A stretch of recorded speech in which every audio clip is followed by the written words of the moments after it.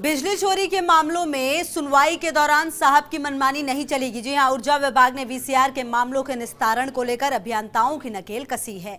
नई कवायद के तहत अब मौखिक आदेशों पर वीसीआर के मामलों का निस्तारण नहीं होगा। बकायदा सक्षम अभियंता को स्पीकिंग ऑर्डर के ज़रिए स्पष्ट करना होगा। ये रिपोर्ट देखिए। बिजली कंपनियों में बिजली चोरी के प्रकरणों की सुनवाई के दौरान अभियंताओं की मनमानी किसी से छिपी नहीं है। इस मनमानी पर लगाम कसने, सतर्कता जाँच में पारदर्शिता एवं सतर्कता जाँच प्रतिवेदन के दुरुपयोग को रोकने के लिए राजस्थान राज्य विद्युत विनियामक आयोग ने पूरी प्रक्रिया निर्धारित प्रारूप में तय की है। अब वीसीआर के मामले में सक्षम अधिकारी को स्पीकिंग ऑर्डर के ज़रिए ही फाइनल डिसीज़न देना होगा, यानी अभी तक जारी मौखिक आदेशों की परंपरा अब आगे जारी नहीं रहेंगी। नहीं चलेगी साहब की मनमानी। बिजली चोरी की सुनवाई में अभियंताओं की ज़िम्मेदारी होगी तय।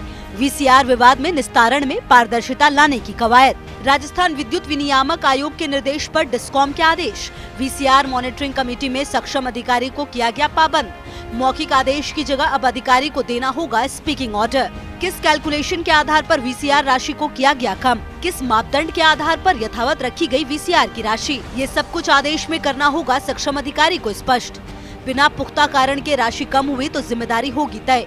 अभी तक फ़ील्ड में अभियंता चेहरा देखकर देते थे मौखिक आदेश। नए आदेशों के तहत उपभोक्ता यदि अपना पक्ष पेश करना चाहता है तो इसके लिए राजस्व निर्धारण पुनरीक्षण समितियों का गठन किया गया है। ऐसे कर सकेंगे अपील? राजस्व निर्धारण पुनरीक्षण समिति में कर सकेंगे अपील?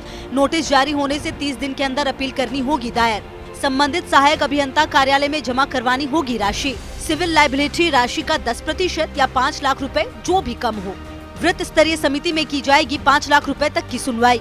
संभाग स्तरीय समिति में होगी 20 लाख तक के मामले की सुनवाई।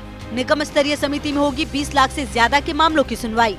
वीसीआर के मामलों के निस्तारण की समय सीमा भी अब तय कर दी गई है। उपभोक्ता या गैर उपभोक्ता की ओर से राजस्व निर्धारण, पुनरीक्षण समिति में आवेदन करने के सात दिन में सहायक अभियंता मामले को समिति में भेजना सुनिश्चित करेंगे।